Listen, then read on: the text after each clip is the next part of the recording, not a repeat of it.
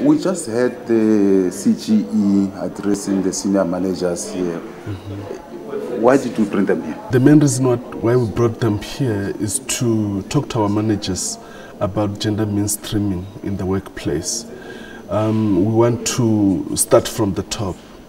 You know, when you want to implement the program effectively, it's important that managers are glued up with the processes of the program itself so that they can be able to implement it um, effectively within the department.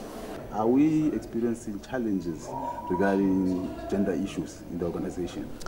To be honest with you, in the organization, we are not experiencing uh, serious gender issues because when we look at our employment equity currently at the, uh, uh, at the HR, ourselves as a gender unit, we always pushed for the 50-50 representation at SMS level.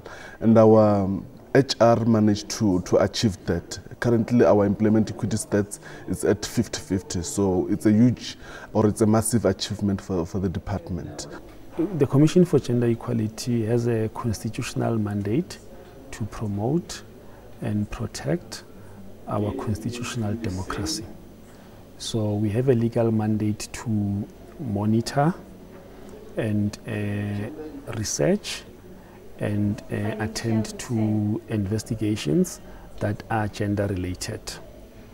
I think as a country we are moving in the right direction as far as attending to issues of gender equality are concerned. I think the biggest challenge we have in South Africa as far as gender is concerned would be gender-based violence.